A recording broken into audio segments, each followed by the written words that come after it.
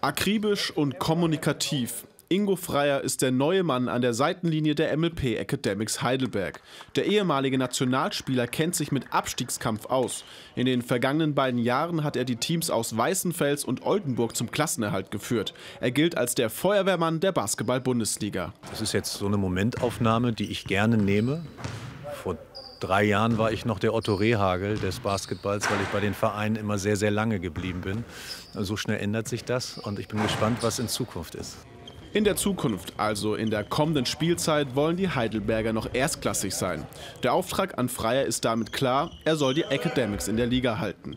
Die Spieler sind zuversichtlich, denn der neue Trainer macht einen sehr lockeren Eindruck. Also ich glaube, Ingos große Stärke liegt darin, dass er eine gewisse Leichtigkeit mitbringt. Ähm, er ist oldschool, was ja jetzt, sage ich mal, für mich als alten Hasen ganz gut ist. Wir haben ein paar Ältere dabei mit Niki, mit äh, Elias auch.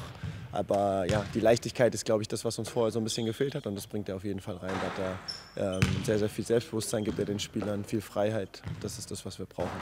Denn unter dem alten Übungsleiter Jonas Isalo hatte das Team einen Negativlauf. Sieben Niederlagen in Folge und letzter Tabellenplatz. Für den Kapitän sind die Gründe des Misserfolgs klar.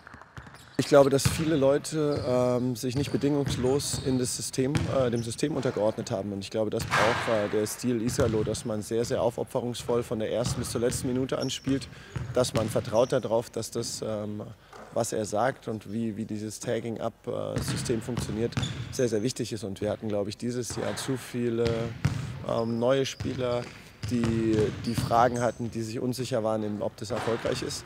Erfolgreich soll jetzt die Zeit unter Freier sein. Der Sieg beim Debüt des neuen Trainers in Braunschweig macht dem Verein Hoffnung. Doch vor ihm und dem Team liegen noch viel Arbeit. Dass man was verändern muss, ist klar. Manche Spieler haben ein bisschen äh, andere Positionen, andere Rollen.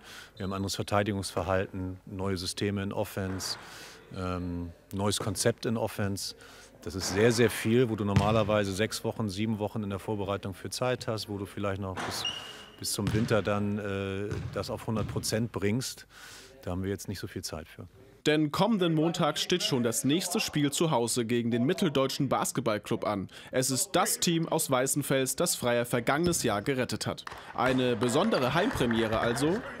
Nein, nein, nein. Also wir bereiten uns so vor wie vor jedem anderen Spiel auch. Ganz, ganz wichtig.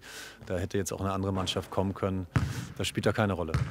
Eine Rolle spielt allerdings das Ergebnis. Die Academics wollen wieder punkten, um dem Ziel Klassenerhalt ein Stück näher zu kommen.